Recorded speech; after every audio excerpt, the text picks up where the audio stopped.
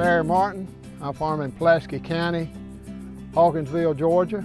Uh, I plant four or five major crops, peanuts, cotton, corn, soybeans, grain sorghum, wheat, and I use uh, strip till.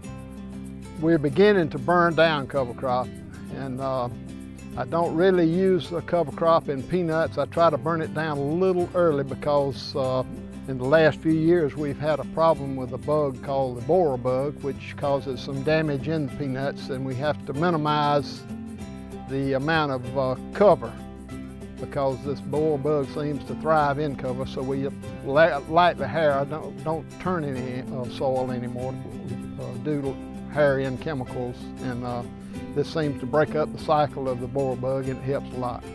Cotton, corn, and uh, soybeans and grain sorghum are, most of the time are planted behind a grain crop uh, where I use the uh, rye for uh, getting the rye seed. I will plant uh, soybeans or, or, grain sorghum. The others, the corn and the cotton are planted in full cover.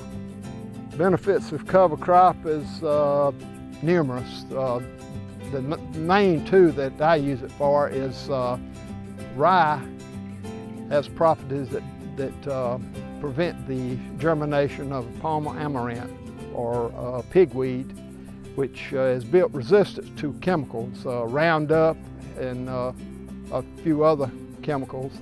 Uh, a good cover of rye seems to prevent this germination.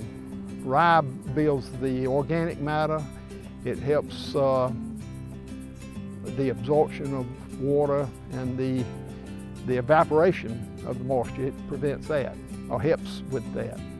With the rolling of the rye now, uh, I use a six row equipment and I have uh, the ripper, the subsoiler hooked to the planter so that I plant in one trip. So if I roll the rye the same way that I plant, it's just a nice flow of the uh, cover. No matter how, how heavy your cover is, it's just a nice flow through it. And it, like I said, it helps prevent the moisture and it also helps keep the ground, keeps it from hardening, uh, getting so hard when you plant in it. With the positive benefits, I would say yes, I'd, I'd try it. Uh, it's a win-win situation as far as I'm concerned. I'm sold on it. I do it, you know, that's the way I farm.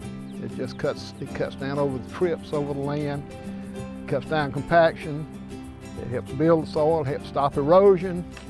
It's just a win-win situation.